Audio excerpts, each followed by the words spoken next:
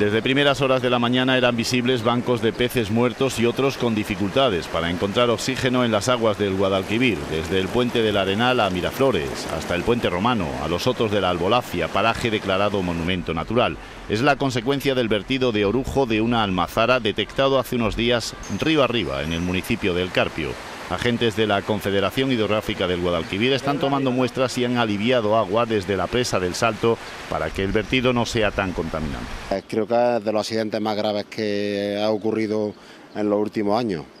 habría que hacer un estudio del impacto que hasta dónde ha llegado el impacto ambiental, porque no es solo la muerte de peces, sino que afecta a toda la comunidad acuática, es decir, la capacidad que tiene el orujo y el alpechín de destruir las plantas acuáticas, de destruir otros invertebrados, hace que los efectos no se limiten solo a la mortalidad de peces, sino que afecta a todo el ecosistema acuático. La Consejería de Medio Ambiente ha abierto expediente sancionador contra la empresa responsable de este vertido. Tuvimos conocimiento de, de un vertido que se había producido eh, a la altura de, de Pedro Abad, ese personal, los agentes de medio ambiente, eh, y levantaron hasta al respecto, eh, comprobando que se, había producido pues, en el trasvase de, una balsa a otra de agua